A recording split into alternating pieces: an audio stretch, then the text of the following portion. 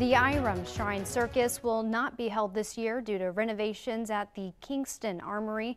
The circus has been around in Kingston for over 70 years.